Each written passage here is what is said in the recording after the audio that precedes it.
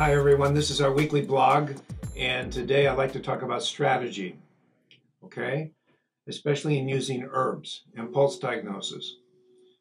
What you're going to find in most cases is that people have issues either with their heart, their sinuses, uh, their digestive problems, they'll have digestive problems, uh, or they're going to have um, problems with their liver. There are kidney issues but generally, that doesn't occur until a little later in time, you know, once they cross over 50, 60 years old. But the main thing you're going to see from the pulse that the most egregious pulses are usually in the liver, uh, the sinuses, or the heart. And, um, or they might have a very bad stomach.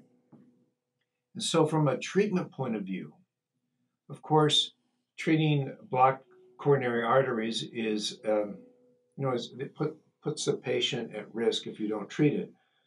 But on the other hand, if they're complaining about allergies and asthma and they have a head full of phlegm and so forth, then in the beginning you'll have to produce a result in that area.